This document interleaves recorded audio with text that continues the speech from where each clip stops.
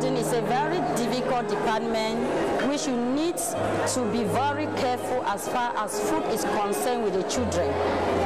Uh, coming to an end, we have tried to our own level, but we cannot satisfy the children as they want.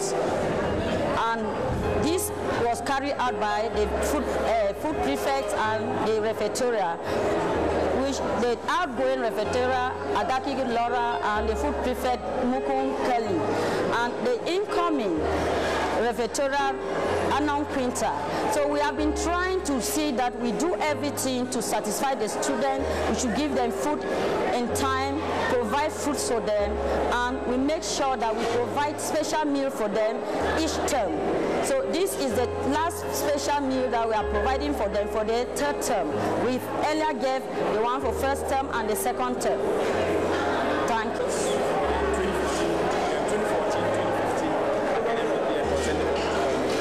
Wow, I can say this is this this is a, a very good year and what I can tell the children what I can tell the children is that they have tried, especially those that aided me in this department for 2014-2015.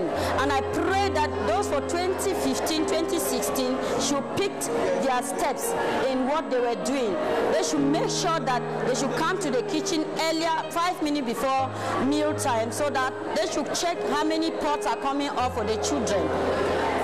Thank you. As outgoing Prefect there, what are some of the shortcomings